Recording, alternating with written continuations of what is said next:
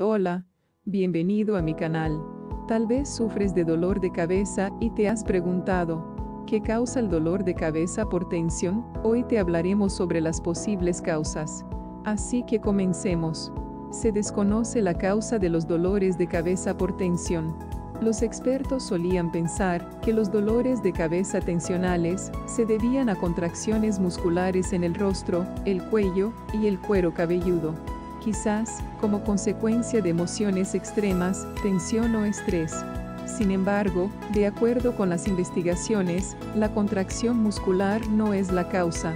En la teoría más frecuente, se respalda la existencia de una sensibilidad exacerbada al dolor en las personas que presentan dolores de cabeza tensionales, un mayor dolor con la palpación en los músculos, un síntoma frecuente de los dolores por tensión, puede deberse a un sistema de dolor sensibilizado.